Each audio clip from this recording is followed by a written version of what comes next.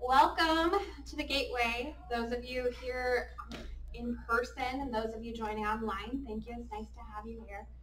Um, every Sunday we have, I'm trying to watch my peripheral if the slide changes.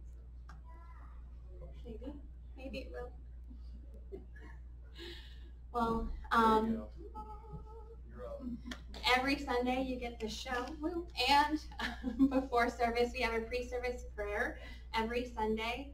Um, a great time just to come together and have praise and and prayer requests shared within a really nice group, a supporting group. Amen. Um, if you're not able to be here in person, you are able to get your prayers um, to the prayer chain led by Catherine by either text or email.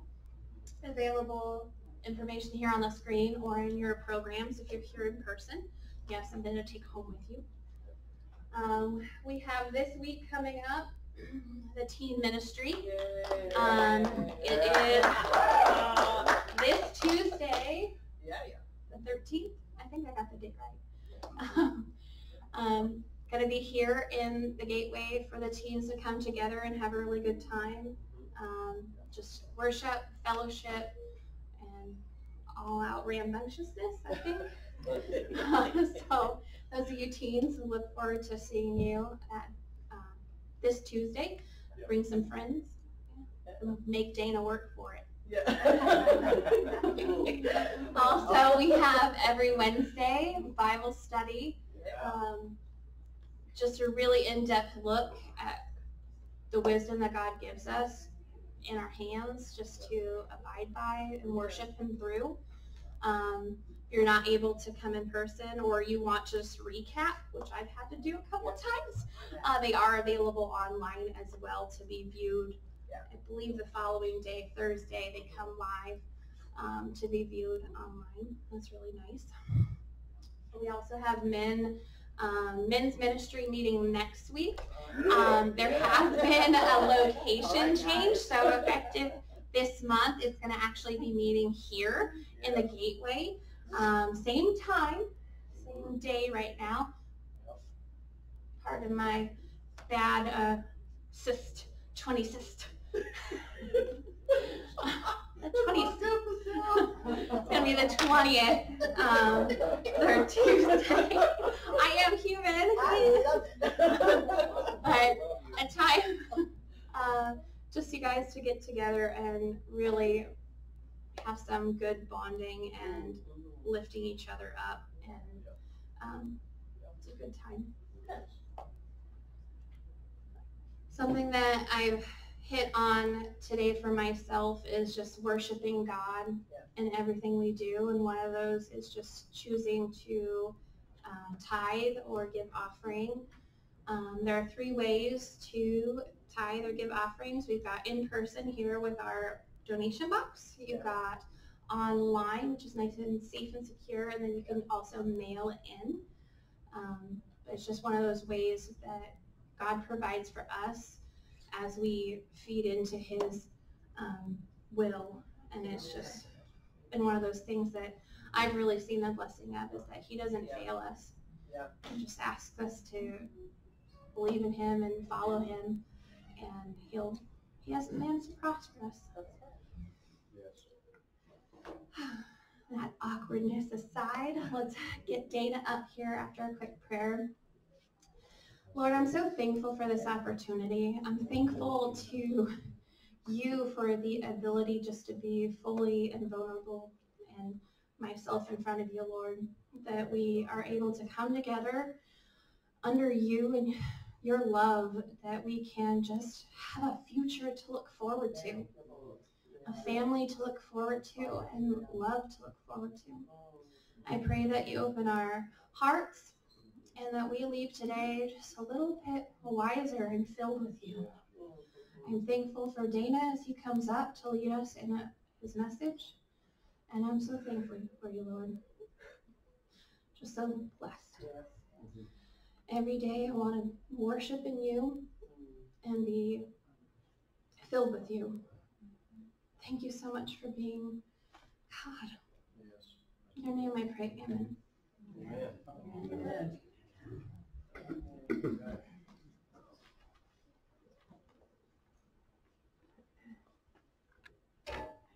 been a good morning, hasn't it?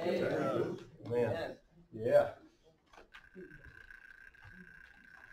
I'm so glad we have an awesome worship team. Yes. Uh, they may say, oh no, it's new. Who are you talking about? You know, whatever, but the truth is, we have, we are blessed with a great worship team. Yes. Yeah, love Jesus, love, love us, Yes. and definitely extremely gifted.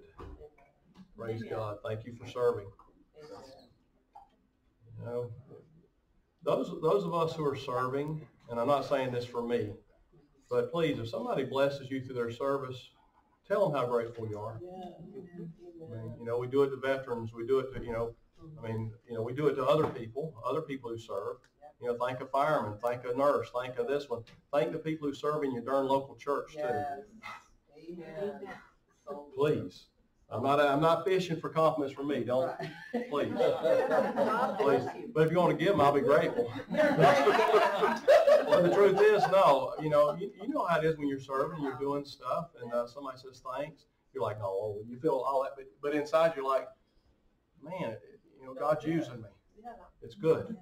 It's good. So anyway, yeah, I just wanted to hit that. Another couple of things really quick is um, beginning next month, uh, the, the team meetings will be moved to a different, uh, different schedule. Okay. Okay, this month we're meeting on the second and fourth Tuesdays of the month. Beginning in October, we're moving the team meetings to the first and third Tuesdays of the month. Okay, so we're just moving them to a different set of Tuesdays. We're doing that. There's a scheduling thing with other ministries and all this is just going to work better. Okay, so we're still meeting two times a month. We're just moving to two different, two different uh, days. And the men's meeting will be moved to the second Tuesday of the month, beginning next week from the third Tuesday. And the men are meeting here. Okay, so we're going to meet here from now on. Uh, it's going to be a better, a little more central location for the guys.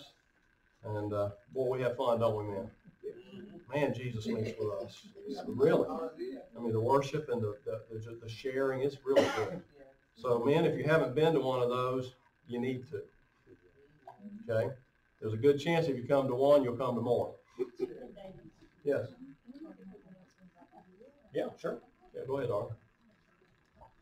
Um, The other, the other announcement I wanted to make about the youth is, I, I know we call it teen ministry, but it's not necessarily teens, it's youth. And so that is sixth grade through 12th grade. Okay. So you can be 11 through 17 and go, because we just don't want the middle school to miss out, Yeah. okay? Right. And the, our children's ministry, they have children, and sometimes middle school age is a little bit old for children. So we have the Right. children up until about fifth grade.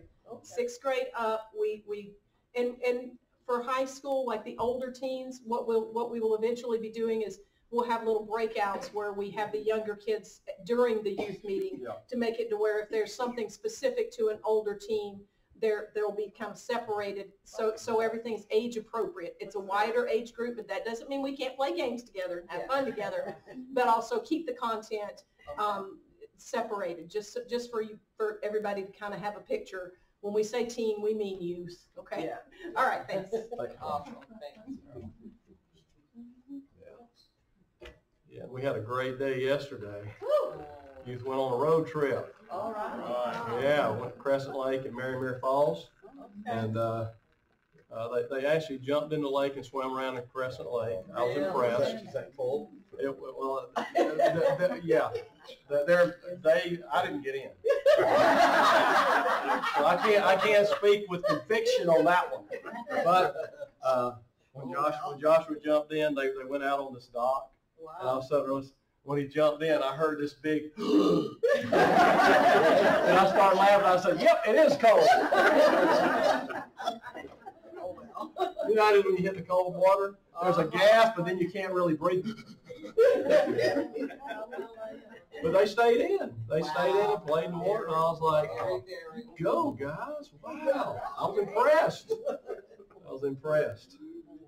But yeah, we had a great time. Had I went out and got ice cream. Went, they went swimming, hiked up to Marymere Falls. We just had a blast. It was fun. It was fun. Yeah. Yeah, it was great. That was the maiden voyage of the new church van. Yeah, it was very comfortable and roomy, and it was nice. Right. So praise God. God gave us a van at just the right time. Yeah. So we'll be doing some more stuff like that, but yesterday was the first one, so I just want to tell you, next week I'll have some photos. I've got some, we, me and Cheryl took, I probably took about twenty photos and Cheryl took at least a hundred. So I have to, when I buy a phone, I have to get one with a huge memory, and it's not for me, it's for the, the times I loan Cheryl my phone. Because she can't tell, it turns into a photo shoot every time, so, oh, shoot, freeze! And all, that goes my memory. We have fun, praise God, yeah, everybody's laughing. Yeah, if it was just me, I, I, I take photos too, but not as many. So, But it was a blast. So thank you, everybody who came, thank you. Yeah. It was fun. So today I'm going to touch on something that I preached on this before. Uh, every, about every couple of years I speak on functional family. And I really felt like that it was time to touch this again. It was about two years ago that I preached on, on this topic. And I basically, it's a revi- this is a little bit revised message of that. But there are certain things that, there are certain topics that need to be uh, spoken about often. Yeah. Okay? Forgiveness, spiritual warfare, functional family. I mean, there, and I could go on with the list. There are things, foundations of the faith. There are things that need to be hit uh, annually or biannually because we just, it's almost like getting a, a refresher in those things. Yeah. And it's, you know, we just need it. And plus we have quite a few new people in the church as well. Right. And whenever me and Cheryl, uh, when God led us here, uh, and I was praying, and the first thing that really stuck out whenever we decided to actually plant the church here was number one is the world does not need another church. You with me? The world does not need another church group. That's right. All right? The world needs healthy, functioning local family groups that call themselves churches. There's a difference. Mhm. There's a difference. You know, there's religious and this and that and other, and I forgot how many denominations and all this, yet there's one Bible, and we're just trying to learn how to do family well. Yeah. Amen. So we're going to be talking about functional family. Now, how many in here have a good idea of what dysfunctional family looks like? Oh, yeah. Woo! Yeah, hands everywhere. And, and those who didn't raise your hand, you're smiling because you're probably still getting over a lot of what happened. Yeah. Like, you know, I'm working on Jesus. But, but uh, you know, we all understand what dysfunction looks like. Um, you know, and there are a lot of people here in this room who've been hurt through dysfunctional interactions with family and others. I mean, all of us have. I mean, all of us, you know, were maybe nightly or one of the small children, you know, that, you know, this, and, and, and their little dysfunction, they think it's huge and it really isn't, you know, but that's babies. Yeah. But all of us who've, who've had any, some years, uh, we all have been hurt through dysfunctional interactions with people. That's part of it. And really, the truth is, very few people, very few, are actually raised in a healthy, functioning family. Yeah. In this country, very few. I mean, there are some, but very few are. Yeah. Um, but, you know, my family, I'm going to touch on mine just a little bit. Some of you may- remember some of this story. Mhm. When my family, when I was raised in a very dysfunctional home, yeah, no bones about it. And whenever there was a disagreement in my house, of course, the arguing began and it escalated and occasionally go physical. There was physical violence and fighting and arguing and, and all that. And that's the way they would try to resolve stuff. And you know what the resolution was? Is the one who gave up first lost. Yeah, right. That's it. And sometimes that was due to just exhaustion. Sometimes something else came up and they couldn't continue the fight, so they, they walked off the battlefield, Yeah. You're right. and so they lost by default. Mhm. Oh, you're no longer in the game. I won. That's what, you know, that's just not good, but families live like that. And there was physical things quite often in my house. I mean, my gosh, I can't tell how many times, that, you know, I, I would walk in the door, I was like, okay, what's going to happen this time? Right. But, you know, that's what I was raised in. Yeah. Uh, ministry training, I think. I'm joking, but it's the truth, you know. You know, people stand up my face and cuss me, and I just smile like, okay.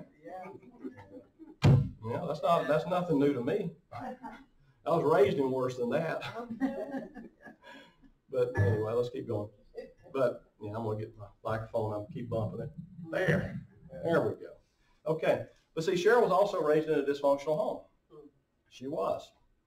Um, and it's neat because see, Cheryl and I met, we loved each other, we got married. But what was interesting is neither one of us were raised in functional families, so neither one of us really knew how to resolve things. That's right. So she brought her own unique special form of dysfunction. Mhm. I brought my own unique special form of dysfunction, and we joined and made a new, a brand new dysfunctional marriage. Yeah, we laugh about it. I can laugh about it now. I wasn't laughing then. I was like, what are we going to do? It was tough. It was tough. So we, so whenever we had a disagreement, we didn't know how to resolve it because we'd never seen anyone resolve a disagreement in a healthy way. So we'd argue. We never went physical. You know, we never got to the violence and physical part like my family did mostly. I think hers had a little bit of that in, but mine had a lot of that in it. Um, but so we didn't really know what to do. So we'd argue a little bit, and then I'd be like, well, this this isn't working, but we didn't know anything else to do. Yeah. So this went on for a couple years, Mm. and uh, and and so one day Cheryl wakes up. We're actually living with my mom at this point uh, because our dysfunction rolled over into everything else we did. So we were living with my mom again. Right. you know, you know, it's like you know our kid, kids, the younger kids, and, and even the teens. They look out, oh, it's gonna be glorious when I get out there. And then they get out there like, oh, I wish I could be back home. Yeah. Let mom and dad deal with this junk. Yeah. But so we're living with my mom. Cheryl wakes up next to me one morning. She looks at me. She says, Dana, I'm leaving. And I looked at her and said, I'm going with you. And she said, no, no, no, no, you don't understand. I'm leaving you. And I said, no, no, no, you don't understand. I'm going with you. She, she kind of stopped her. She was not expecting that response. It stopped her, which is good. And uh, what was neat is we talked and we agreed to leave together and give it one more shot. Isn't that neat? One more shot. So what we did is we packed up everything we owned into a little pickup truck and we had twenty dollars cash and that was it. And went to another town. Okay. Started over. Yeah. You know, we, we were hopeful. But see, that was actually over thirty-six years ago. Mhm. This will be thirty-seven years of marriage this year. Nice. Praise God for that one more shot. Amen. Amen. But you know, we uh, something in me knew that healthy relationship was possible, and I wanted it desperately. I just didn't know how to do it. I didn't know how to do it, Yeah. And so that's why we hung on and, and gave it another shot. Um, it took a lot of years, took quite a few years, and a lot of hard work, much help from God. Boy, when I- whenever I trusted Christ, that was a game changer because then we were on the same page, and God really started helping us. Yeah. You know, God loves marriage. He believes in marriage. He honors covenant commitment. He does. He will help us more than any than we can help ourselves Yeah. whenever we stay stay committed and do our best. Um, but see, we now we, me and Cheryl have a wonderful relationship. We have, I mean, we, we do really well together. Our marriage is better today than it's ever been by far, and it keeps getting sweeter and sweeter every year. But it took a lot of work. I mean, a lot of work, a lot of uh, disagreements, a lot of not knowing what to do. But God came through. He came through. But actually, another life-changing thing, and there's a victory for some of you here. Some of you in this room will get a victory right here where I'm going now. Okay, another life-changing changing thing that God showed me was that He had hand-selected my dysfunctional family for me. Okay? And you may think, no, no, God wouldn't let me go through that. God picked your mom and your dad. Yeah. He handpicked them for you. So let that settle in a little bit. Because so many people blame their parents. If only I had this, if only that had happened. Uh, actually, uh, God gave you what you needed. That's right. He picked mom and dad for you, even if it was a mess. Guess what? That's your special mess Yeah, that God gave you. Come on. All right? Mhm. So hang in there. Feel like I'm stretching some people's doctrine here a little bit. Right. Just hang in here. I'm gonna tell you, just, let's keep going. Because, see, when God hand selects our family, you know why he does it? Because there's a call on your life. And you needed the raw materials in your life to be who God created you to be. And your mom and dad are the first and primary source you get the raw ingredients you need for him to turn you into who you need to be. All right. And that's mom and dad's strengths. That's mom and dad's weaknesses. Mhm. See, you know, you know the clay. There's the image of the of God giving the lump, putting it on the wheel. Yeah. You know, all clay ain't the same Mhm. because from different places it has different qualities, different strengths, different weaknesses. Okay, so guess what? Your family was the perfect clay to create you. So that God could get you on the wheel and turn you into the beautiful vessel he wants you to be. You needed that special ingredient, that those things mom and dad gave you. The good and the bad and the ugly stuff. And I brought a lot of that in. I'm not just, you know, I'm not preaching from somebody who, you know, oh, I had a perfect family, and boy, you just need to enjoy what you have. No, no. This is the truth. There, there's, there's victory here to see that, you know, my mom and dad, no matter what was going on, they were God's best for me. Mm-hmm. How could God tell you to honor your father and your mother? That it would go well with you and you'll live long upon the earth. He doesn't say honor your father and your mother if they're Christians and they're in right spot with me. Nothing to do with that. Honor your father and your mother if they're if they're messed up. Honor your father and your mother if they're doing right with me. Honor your father and your mother, mother if one day they're doing good, the next day they're not. Mm-hmm. You know, if, if they if they took me through a roller coaster ride of whatever, honor them. Mm-hmm. Let that soak in. Because you honor them because they're God's choice. They're God's best for you. Let me hit something else. How many in here, and I, just by show of hands is going to answer this question, how many of you in here have heard of Joyce Meyer? Oh, what do you know? Everybody. Okay, have you ever heard her testimony? Yeah. Yeah, her father sexually abused her over 200 times. Yeah. Oh, okay. Sorry, kid. Oh, sorry about that. Uh, my bad. Okay, we'll keep going. Sorry. You're behind Steve, and I. Oh, yeah. Okay. That's dysfunction.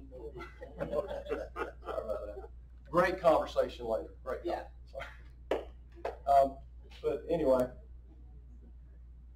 that woman has changed the face of the earth That's right. because in that tough spot, she got to know the Lord her God Yeah. in a way that was exceptional, and God calls those particular ingredients to become a strength in the kingdom. Yeah. You see that? Amen. Right. God causes all things to work together for good. Yeah. All. That's all inclusive. Amen. Nothing's left out. And when you look at the people, the people who, some of the people who've made the biggest impact on the face of the earth have went through the, some of the toughest family dynamics, some of the toughest things ever. And they changed the face of the earth for Jesus because they got the ingredients they needed in those spots Yeah. for God to create this masterpiece that can help other people. Amen. Amen.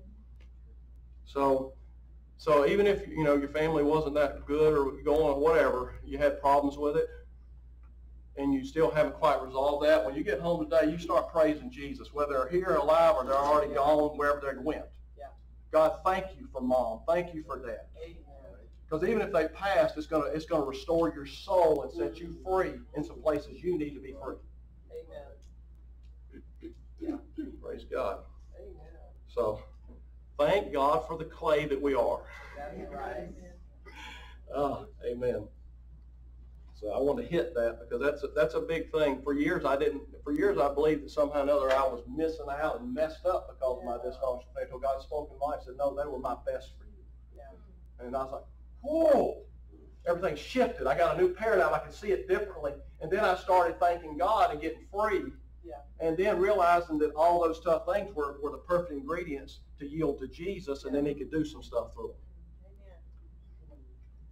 Praise God.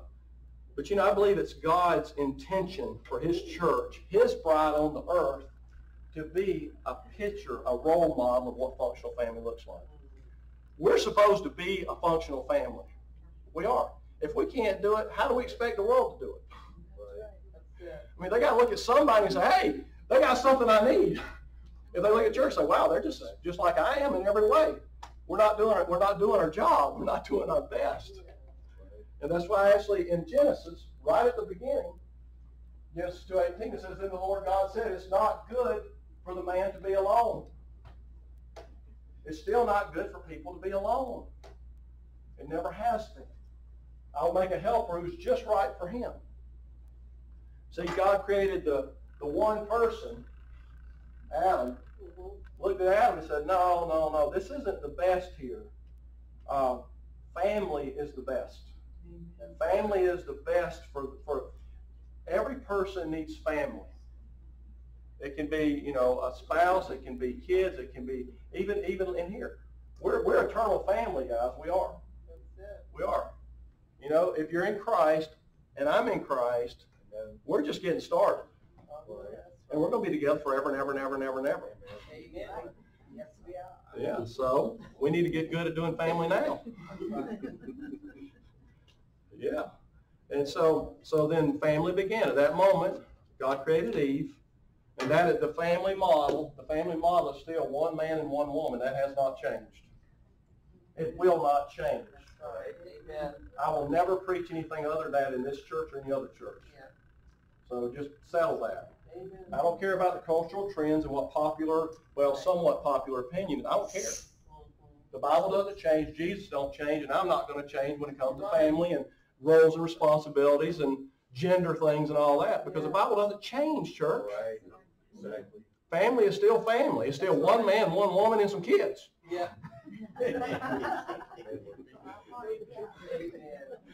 Yeah, yeah. So no, no. When the, when, you know, if, if the Bible's clear, guys, and I say this often, if the Bible's clear on something, you be clear on something. Be nice.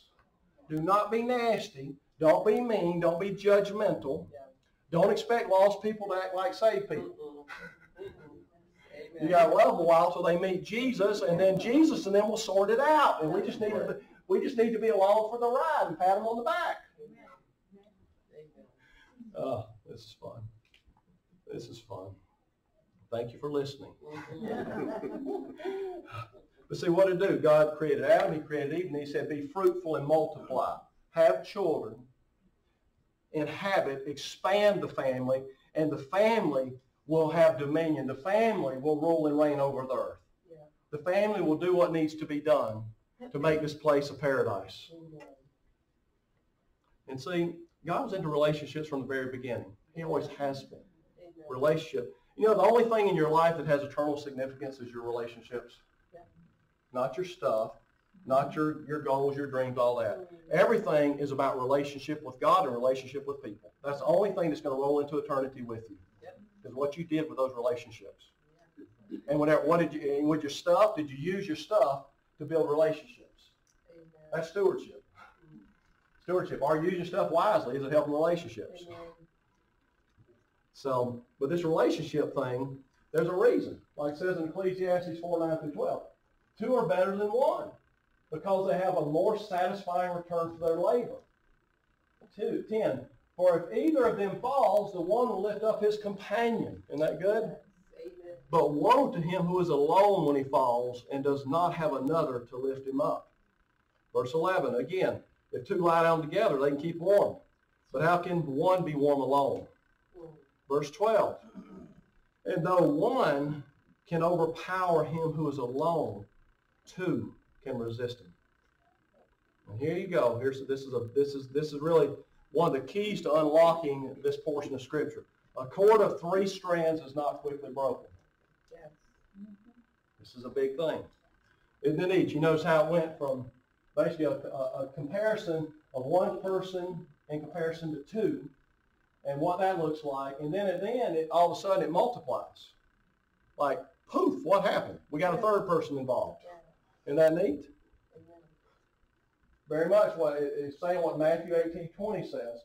For where two or three are gathered together because of their mine, I will be right there among them. See, anytime two people are doing family the best they can, Jesus is there helping. He's that third strand. You ever tried to make a rope out of two strands? You can't, it doesn't, you can't do it. No. But that third one, you can weave it. It can, it, the, the strength level goes up exponentially with that. You gotta have a third strand in there to, basically gotta have a third strand to keep things together and to make it strong. And that's what it's teaching. Whenever you, two of you get together, you're doing your best, you're doing life, you're doing family, you're following God. Jesus is right there and he's bringing it together, he's tightening it up, and he's giving you strength where you need it. Family. You know, we need friends and family. We need other Christ followers to walk through this life with. We do. You know, we need like-minded people to rub up against and, you know, and we can encourage each other, don't we? We need that. We need it desperately. We need people to pray with us. We need people to prophesy to us. You know, we people, we need people who pray and say, you know, I feel like God shared this with me for you. Boom. We need that word in season. The Bible says, how pleasant is the word in season. I'm going to tell you, when a revelation comes, it is in season. God always speaks at the right time. He's never, you've heard the thing, he's, uh, he's seldom early, but he's never late. Yeah. Every time God speaks to us, it's valuable. And most of the time, he speaks to us through our devotion, but I'm going to tell you what. If you're, if you're in a, in a, in a like-minded family who believe in prophecy and God sharing now revelation, guess what? You're going to get spoken to a lot through those people close to you. God will use the people around you to speak his word into your life Yeah. often. And I'm grateful for that, man. I'm, I'm, I love that. I love being God's mouthpiece from time to time. And I love when those around me are God's mouthpiece to me. Amen. It's priceless. Valuable, church. It's valuable. Hmm. But you know, when we trust Christ and we begin attending a church, guess what? We bring everything we are into that group.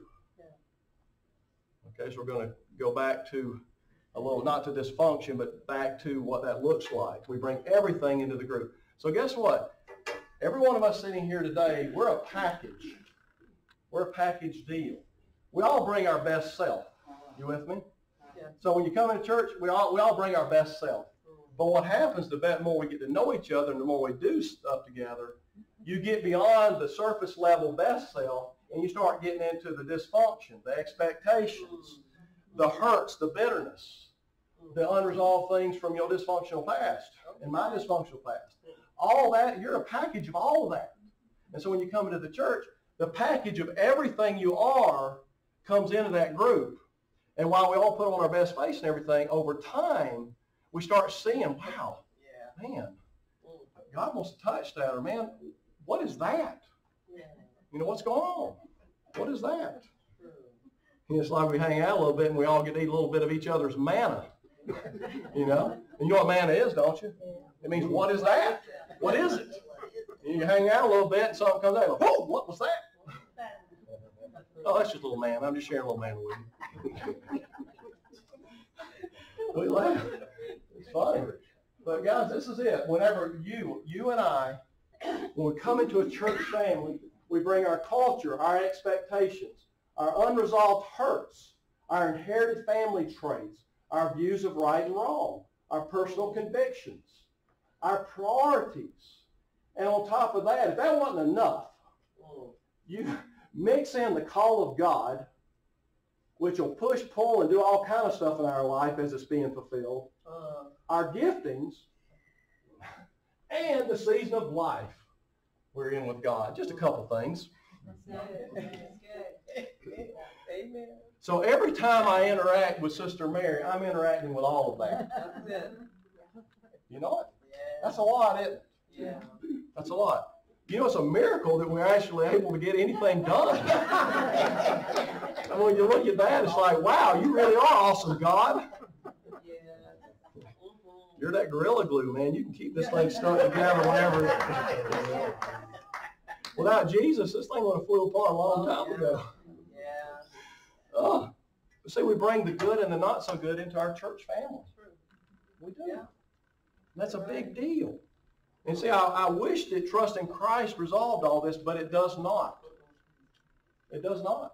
When you trust Christ at the cross, he saves your soul. But guess what? You just became an athlete and walked up to the starting line. That's what it is. You finally got into race. Yeah. So you're just you're just ready to start. You're just ready to run. And then Holy Spirit's going to help you. But he does not deal with all this stuff at the cross. He does not. Holy Spirit comes in your life, and Holy Spirit, little by little, Yeah. day by day, helps us deal with it. You know, line upon line, brick upon brick. We're changed from glory to glory, it says in Corinthians. And just like the children of Israel, when they went into the promised land, God said, I'm not going to drive out all your enemies at one time, or the land will be too big and you can't handle it. Yep. Yep. If God drove all of it out at once, we could not handle that level of freedom. We'd freak out and flake out. Yeah. See, that's too much freedom for somebody to get who's not, who's never known freedom. But that's what. We come in and the Holy Spirit helps us little by little, day by day, which is a good thing. It's just wonderful. And see, that's what happens at the cross. You know, it's a brand new start. It's a brand new race for us. It's wonderful. Our soul's saved. Holy Spirit helps us. He forgives everything before that. Oh, We're completely clean forgiveness-wise from that point back. All right, so we're forgiven. We're, we got a clean slate. But the forgiveness is not the same thing as the dealing with, working through, and sorting through all those things that have been part of our being. Mhm. There's a difference. You get a clean start to work on it, to deal with it. And see, then through our devotions, serving each other, serving people, serving the family, serving the community, serving in the church, and, and gathering with other believers, we're transformed, Mhm. transformed day by day. You know, a healthy family environment is meant to be a safe place to change. It is. You know, in this house right here, you know, you're gonna get you're gonna get acceptance, you're gonna get love. You may have a hard conversation or two with somebody here or me, but that doesn't. Hey, it's, it's not based on nothing's based on judgment. Right. It's based on us really trying to help each other. Yeah. It's huge. Yeah. You know, it's a big deal. Mhm. And see, and that's my the go- our heart, mine, and Cheryl on the council. Our heart is that this is a healthy family environment. It, it's got to be healthy. not a place of judgment and condemnation. Jesus dealt with all that stuff, and I'm not qualified to judge anyway. Are you? No, no, I didn't go. I didn't go to the cross. I visited the cross, but I didn't go to the cross. Amen. yeah, but you know, please keep in mind, I'm not talking about a group like uh, the Gateway is not a group that avoids dealing with things and avoids talking about stuff We don't. because that is not healthy. Ducking and dodging and playing the ostrich doesn't help anybody. It does not. It does not. And also, please keep in mind, I'm not talking about a group where everyone makes it a lifestyle of not dealing with things and not speaking up about things. Yeah. All right? We're not doing that. There's groups like that all across this country. Yeah. You know, everything is surface. Nothing ever gets any deeper. Yeah. That's not healthy. We must be real with each other. Guys, we need to talk. You know, we need to talk with someone when something's when something rubs us wrong, when something bothers us. We need to talk. We need to share. We need to, to connect with people. We really do. And you know, we we whittle away at our own life by holding too much in. Amen. If you walk around in a state of internal turmoil because you're not praying for your stuff, you're not releasing your stuff, you're not connecting with that person person who rubbed you wrong, what you're doing is you're literally burning the energy that you don't have to spare, Mm. that your body needs to stay healthy. So deal with your stuff. Deal with it. Stay nice. Stay nice, Mhm. but deal with it. But you'll wear yourself out by not dealing with things and not facing things and not resolving things. And that, that goes not just for, the, you know, what happens in here, Uh, that you're way back. I don't care how far back. If you got something still troubling you, you and Holy Spirit need to visit and get your Yeah. victory there. Yeah. That way you can stop wasting energy on something that's unresolved. You know, things don't just go away if we don't deal with them. No, they don't. Right, so let's keep going. And with that in mind, yes, please, come on.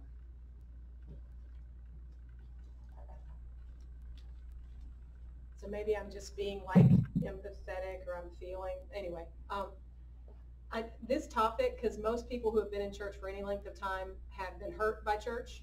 Yep. They've been hurt by leaders. They've been hurt by people in church. They've been, they've been just hurt. like, we hurt, okay? And I just want to say that I'm not trying to like, I guess I'm in, in conjunction with what Dana's saying. Yeah, we're, we're real people doing real life Yes. together, Mhm. which means that elbows get rubbed. Yeah. And sometimes they don't just get rubbed, they get poked. Yeah. Like Yeah. Donna poked me in the ribs. Yeah. Darn it. sorry. I'm sorry. I'm just picking at you. But the one thing we can control, because we can't control what other people say. Right. Um, somebody woke up on the wrong side of the bed, burnt the bacon, and came to church and got rude. Yeah. We can't control that they came off as not not sweet. All right. That's right. But we can control how we partner with God in that, and if we Yep. choose to Right. partner Right. with God in that. Mhm. And I've had I've had not just interactions, I've had entire seasons, and you have too, Yeah. where you've had to navigate a, a church experience that wasn't very comfortable. Mhm. and was ongoing. But I just want to encourage us all that if we partner with God in those relationships and say, God, Mhm. what do you have for me? How can I develop in this? Yeah. What do you want to be for me now that you couldn't be for me any other time? Help me navigate this. And there's been times, and I know for you too, that, or some of you, that you've navigated relationships and there was no putting that thing, it was Humpty Dumpty, off the wall. Like there was no putting it back together. But you can be assured that if you're partnering with God in family and in relationship, that God's got your back Yeah. That's right. and you're going to come out of it better, Right. stronger, faster, That's right. like like the thoroughbred. Yeah. You know, we can do this. We can do this, and we don't have to carry the pain. Mhm. We don't have to. We can shake it off. That's right. What's that? What's that? What's that girl's off. name? What's that? What's her Uh, name? is it Taylor Swift? Yeah, Taylor Yeah, Swift. That's not one one Off. song. Shake it off. Yes. You know, we, we can shake it off. We can with the Holy Spirit's help. Yeah. And it's, it's when we're partnering with God Yeah. and just giving each other some slack. Yeah. You know, you do it with your family. You, you know, you have to do it with your family, with your other, with your real family. But we have, you know, we have to. So we can definitely do it here because we love each other. Yeah, That's- that's I just wanted to- Cheryl. Thank you. Good. Thank you, darling. Yeah. I'm always happy when my lovely bride preaches, so. That's right. She's my favorite preacher. She's hired. What's that? She's hired. Yeah, amen. That's good. But see, relationship and family is so complex. Yeah. I pray a lot for God to help me in my interactions with other people. Yeah. I pray about that a lot. I mean, no joke. Mhm. Our moments are so special with other people and with our family that we need to be praying a lot for God to help us make the most of them. Amen. You know, we don't need to just blaze in and deal with stuff. We need to say, God, please help me. God, please help me not to hurt them. Help me to have your heart for them. God, help me to see where you're working in their life so I can partner with you better there. Yeah. Lord, help me to not be so darn sensitive when they say that same thing that's rubbed me wrong too many times. You see, pray, pray, and God will help you. God helps me a lot with relationship, and I need it. I want it.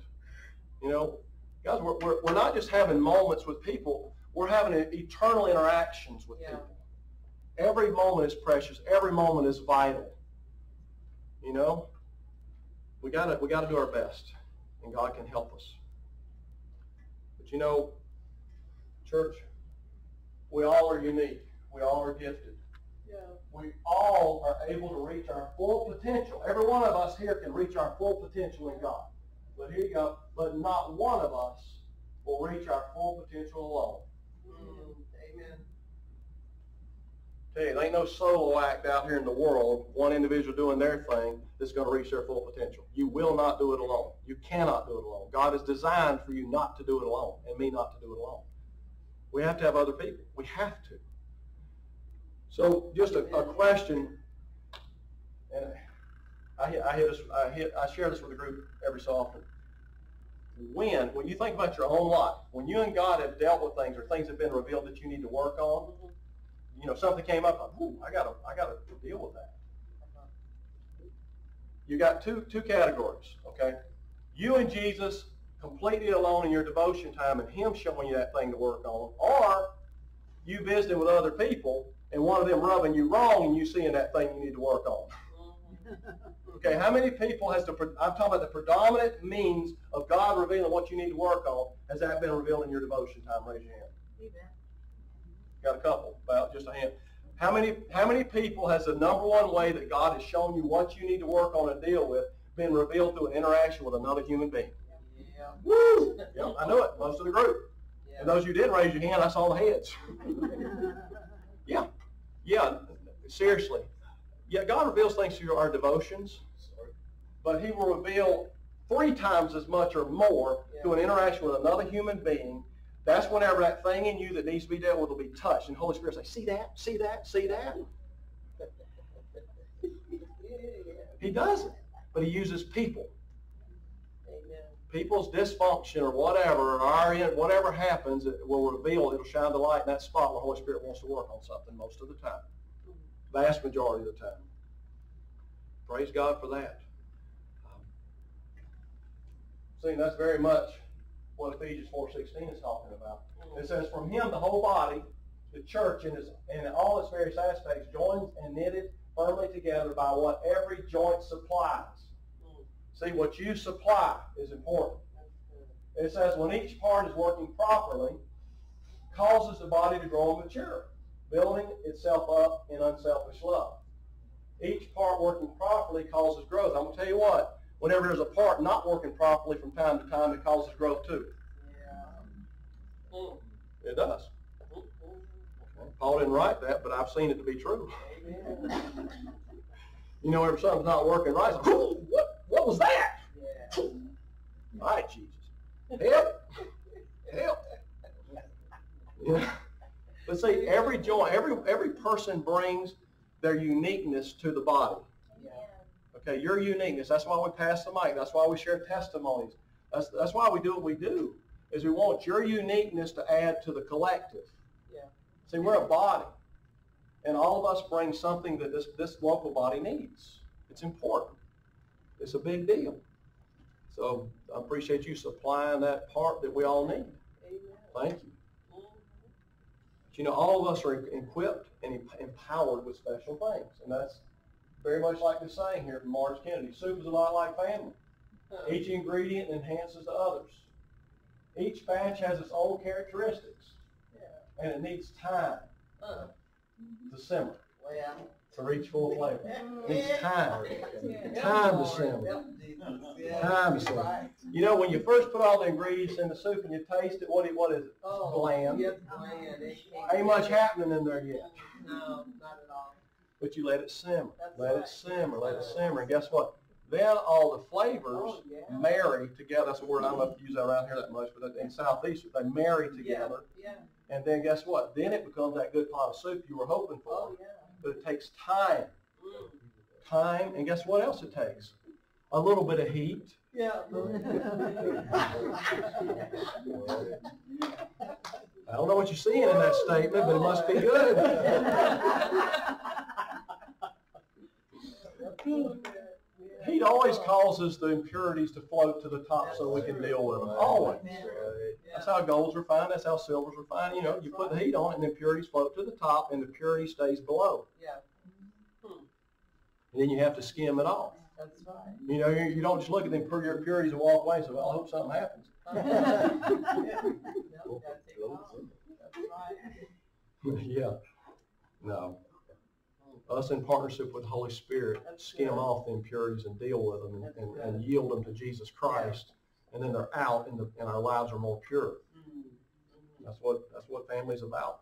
Amen. So I'll share a quick testimony. One man that really, really drove this home with me was a gentleman in North Carolina.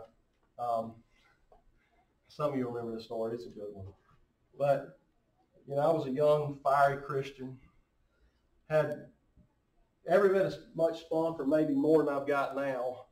But what I did is, uh, is we, we started a home group in North Carolina, a life group. And there was this gentleman, a, a native man from, from North Carolina, just soft-spoken, gentle, loved God, easygoing. Him and his wife were leading this group. Here comes me and Cheryl, and Cheryl was great to work with, but I was not. You know, I was I was full of fire and had the call of God just pulling me every which way. And I was, and you know, and I'm gonna use the a, a word that is Christian appropriate. I was a pain in his butt. Okay.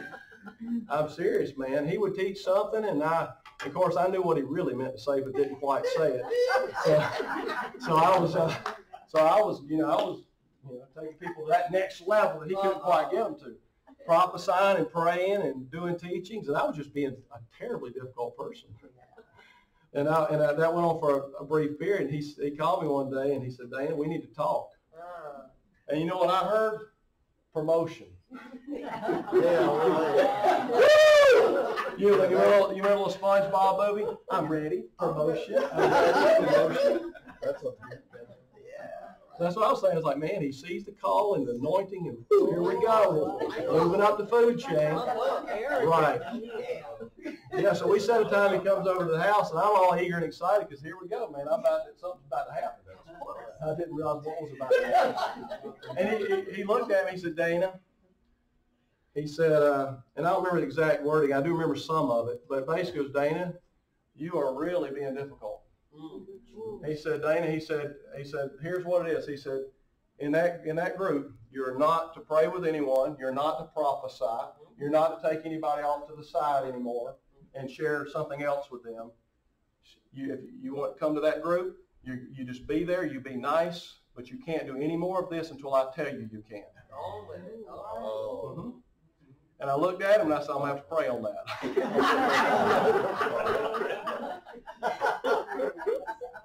Yeah, but what I did is I went inside and I said, God, is this true? And Holy Spirit just convicted me to the core of my being. I said, oh, I'm so sorry. I'm so sorry. Yeah. He was the first man who'd ever got in my face and told me the truth. Mm. That's good. Yeah. That's good. Priceless. Yeah. I prayed, I was convicted, I prayed, I cried. The next morning I called him back and I said, thank you. Yeah. Thank you. Thank you for, for having the, the, I'll just say the guts, Yeah. having the guts Yeah. to be pointed and direct with me. Mhm. I said, God confirmed what you said. And I said, look, I said, I will help you. I will do whatever you want me to do. You let me know if I'm, if, if anything's out of whack, I'll do whatever, I, whatever you need me to do, I will do just, just what you want and help you. And you know what he said? He said, now we can get something done. Yeah. Yeah. Praise God for that man. It was just a short period of time later, and we were promoted in the church. We did have life groups. We started birthing life groups and Yeah. sending people out, Yeah. and then you know the ministry kept going, Mhm. you know, up till now. But you know, it started with a moment of humility because somebody loved me enough to not duck and dodge the issue. They spoke to me. Yeah, That's good. That man will have a uh, put this way, he's gonna have a big reward in heaven for straightening my butt out. Yeah. And you know what? And I'm gonna be right there patting him on the back, saying, "Yeah, he deserves it." Yes. Yes. You know. In scripture in Proverbs 27, 5 and 6 says it's better to be corrected openly if it stems from hidden love. You can trust a friend who wounds you with his or her honesty, but your enemy's pretended flattery comes from insincerity. Mhm.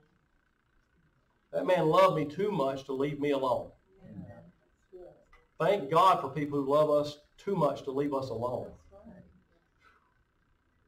Thank you, God.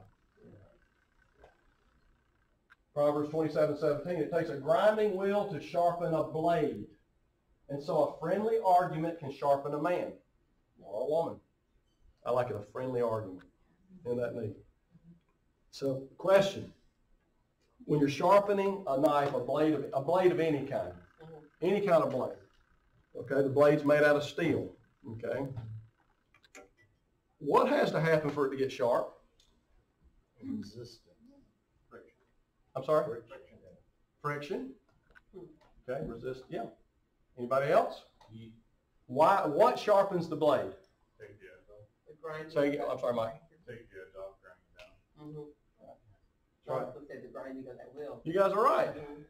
So for an edge to get sharp, something has to be removed. Mm. Otherwise it stays dull. Yeah. Okay, so something has to be removed from that, that metal for it to be sharp. The outer shell. And so that's a big deal because for you and I to stay sharp in the spirit Hmm. in this life, we have to keep our edge. We have to keep our edge, guys. We have to keep our edge. You know, and just as metal must be removed from a blade to get it sharp, guess what? Our fleshly nature must be removed regularly for us to stay sharp. That's what happens whenever a friend or someone who loves you, I'm talking about who loves you, not somebody just coming to mess with you and fix you. Yeah. If somebody don't love you, they have no right to speak into your life. Amen. Come on. They don't. I mean, but let me, let me adjust that just a teeny bit. That, while that is true, occasionally I've had people speak into my life who I knew didn't really care about me, but it was the word of the Lord. Okay. Okay? They were, it was the word of the Lord. I've had, I've had non-believers prophesy to me. Yeah. Oh, wow. Yeah, I've had people who did not know Jesus because I knew they did not know Jesus. It was kind of obvious. But they spoke to me and it was the word of the Lord. It's like, oh my goodness. You think Holy Spirit can't speak to whoever he wants to whenever he wants to? Yeah, yeah. He can. He can. And, and that, that human being was substantially more valuable and more important than the donkey that talked to Balaam. That's right. You with me? See, God does what he wants to do through whoever he wants to. But I'm, I will say this though, when somebody really loves you and they say something hard, listen, listen. You know, that we had a pastor in North Carolina, he said, the one who loves the most is the most vulnerable. I've had conversations with people that were lasted two minutes, three minutes. They don't realize I've been praying and crying for hours for the days leading up to that. Yeah. You know? Yeah. Thank you, God. Church, as we continue to grow and get to know each other better, there will be some interactions that are uncomfortable. Okay? Just so you know, I may rub you wrong sometimes. I say that. You know, and, and other people in here may rub you wrong sometimes. You know, there'll be, there'll, and we're picking up right here, there'll be times that someone may say or do something that upsets us. It happens. We're people. But see, when this happens, we must first, here's where you start. Yeah. Before you dive into somebody to figure out what happened, prayerfully check our own heart. I have actually found that this first step deals with most of our misunderstandings. When you look at yourself first prayerfully, that'll deal with most of your misunderstandings. then, if that doesn't resolve the problem, connect with the other person and sort it out. When sorting a misunderstanding out with someone, here you go. Here's the process that I use. Okay? Always give people the benefit of the doubt. Most of the time, the person who upset us didn't mean to. Okay, next one. Everyone makes mistakes sometimes, including us. Yeah. We do. All of us do. Also remember that they may be working through something you and I, you or I know nothing about. When somebody's really in a tough spot dealing with something, sometimes they get edgy, don't you? Yeah, Yeah, yeah. and sometimes we are the, you know, who know nothing, kind of feel some of that edge. Yeah. So be, be, be filled with grace. And last, with church, most often we are one or two conversations away from working things out with others. That's a huge one. I, man, I found that to be true so many times. People stew on stuff for years, Oh, yeah. and they make one quick phone call, and all of a sudden they're set free. All those, who knows how many hours oh, Yeah. that they struggle with something, when they just need to have one or two conversations, they can be free. Amen. My gosh. And if it's somebody you can't have the conversation with because they passed on or it's just not safe to, you know, for whatever reason, then what you do is you keep praying and sorting it out with Jesus Yeah. until the burden's gone. Yeah. Yes. You can pray through something until the burden's gone. When that burden's gone, then you can you get your victory the same way as if you'd resolved it with that person you can't resolve it with. Yeah. You know, if somebody's dangerous, don't force yourself in their presence and risk getting hurt again. Or if they went on home to be with the Lord or went on wherever they went, Yeah. you know, and you can't do it, pray through it. Get your victory. Yeah. Get free. Amen. It is totally up to you and I whether or not we're free. Do you know that? That's that that ball's in our court. Amen. Jesus made the way. He provided what we need, but it's up to us whether or not we take him up on it. That's right. Amen. Here's a here's a good question. What's called a contemplative question. In a disagreement, what is most important? Being right or being nice and kind? Proving your point or respecting the other person? What's more important? Being nice and kind. Yeah. Being nice and kind is always more important. Yeah. It is. And respecting the other person is always more important. Yeah. You know, when somebody's always right, Yeah. what can you do with them? Not too much. I mean, really, I'm not being rude. Yeah, not too much. I've had, there's people over the years, I've said, look, don't you ever get tired of being right? Yeah. Or somebody feeling it on this side of the room. Well, the Holy Spirit blows it out. But it's the truth. You know, somebody's always right. What do you do with that? Do you know what? God can't do all he wants to do in the life of somebody who's always right either. Yeah. Because they're right with you all the time, they're gonna be right with God all the time, and God don't work like that. No, Uh, just a little bit more. Thank you for going with me. Oh, this is fun. Praise God. One other quick testimony, then I'll wrap up. Okay, several years ago, myself and a couple other pastors were ministering at a men's, a big men's rally, and uh, we were ministering, we were doing prophetic ministry, and so we're just kind of standing in the room, walking around. I'm saying, and I'm just saying, Lord, who do you want me? To, who do you want me to share something with? And Lord will point people out. So he points this man out, and I get this this detailed word for him, and I'm like, okay. And uh, but I had a check in my spirit about going over to him, so I just waited. And then at the end of the meeting, he was walking around. I went up to him and I said, "Hey, brother," so I feel like God laid something on my heart for you. And you know what he did? He looked at me and what he pointed at me. He said, "I don't know you." He said, "I don't know you." He said, and I said, "What can I share?" He said, "No, I don't know you, so you can't share with me whatever you want to share because I don't know you." Okay. Now, a lot of ministers, pastors, people got offended right there. They'd be like, "What? I got a word from God for you." You know what I did? I looked down and I said, "Thank you." Yeah. I said, "Thank you for being responsible with what you led in your life." See, that man ain't gonna receive a bunch of junk, is he?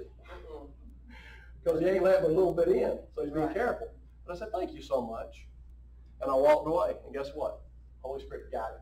Yeah. He came up to me later and said, um, would you mind sharing with me? Do you know why he came back to me? Yeah, Because I respected and honored him. that's right. I didn't push and get a nasty attitude and walk away. Right, If I'd did that, I've never been able to speak that life that God gave me for that man into his life. that's right. You see? So it is. I said, and he came up to me and he said, would you share with me? I just, I started laughing. I said, of course I would. I said, I'll be happy to share with Yeah. brother. And I said, thanks again for being so responsible. And I said, I said, okay. And I said, can I place my hand? And I said, yeah. And I was able to speak that word into his life. Yeah. And he received it. He received it deeper Mm. into the soul of his heart than he would have if I would not have respected that man. Right, that's right. Yeah, that's good. Respect people, love people, be nice to people. Yeah. Hey, that's that's the kingdom expanding right there. Yeah. You do that, and I may preach on this soon, but that's actually that's that's that's the right way to do things, but it's also part of creating a fertile environment. Yeah. There's a lot there's a lot to ministering to people, more than just getting your ministry on or doing something. Right. There's a lot more to it. All right, so let's keep going. We're just about to wrap up. Proverbs 17, 17, a dear friend will love you no matter what. Yeah. And a family sticks together through all kinds of trouble. I love whenever God puts all in there. That way we can't weasel our way around it. oh, praise God. So anytime a group of people build a relationship, do things together, there will from time to time be friction. Mhm. You know, there will.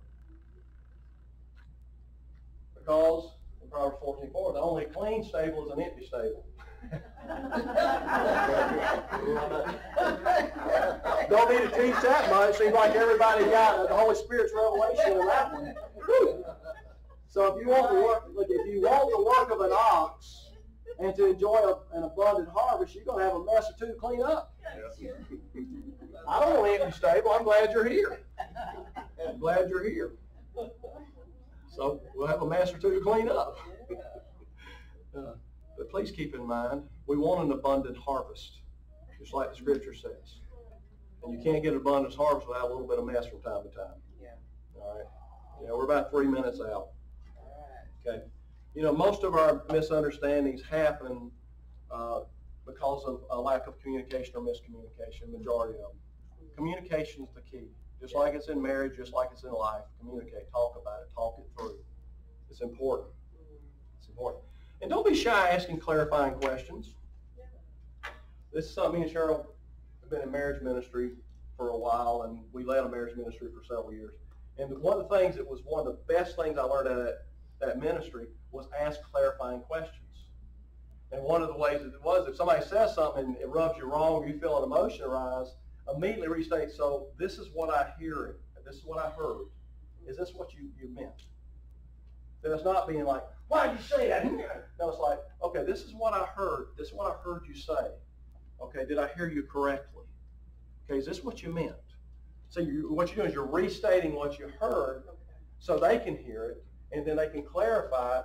And that deals with a lot of, just, just asking the right questions, listening.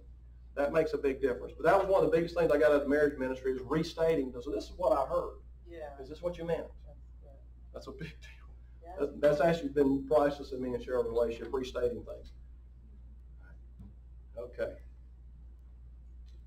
Church, there's an enemy trying to take every Christian out. Yeah. The devil cannot hurt God directly. Mm-hmm. He, tr- he's too weak. He tried that already. Yeah. So he wants to destroy Jesus' bride. And the primary way he does this is to cause trouble between the members of his bride. That's the number one way he messes up the church and messes up our lives. It's causing dysfunction that we don't resolve. And here you go, in closing. As the family goes, so goes the nation, and so goes the whole world in which we live. Amen. Right. Praise God. Okay, so in your interactions, it's the last scripture, in your interactions with people, James says, understand this, my beloved brothers and sisters, let everyone be quick to hear. Be a careful, thoughtful listener. I like the notes in Amplify. Slow to speak, a speaker of carefully chosen words, and slow to anger, patient, reflective, and forgiving. Okay. And my first Sunday school teacher, a long time ago, he said, you know why God gave you two ears and one mouth? He said, because you're supposed to be listening at least twice as much as you're talking. Let's close. Lord, thank you for your word. Thank you for, Lord, your presence. God, help us here at the Gateway to be a healthy, functioning family. Yes.